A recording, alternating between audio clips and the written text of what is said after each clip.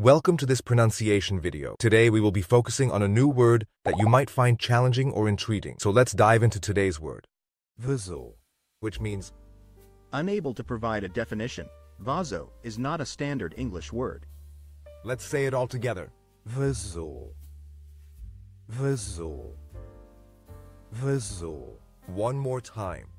Vazou. Vazou. Vazou.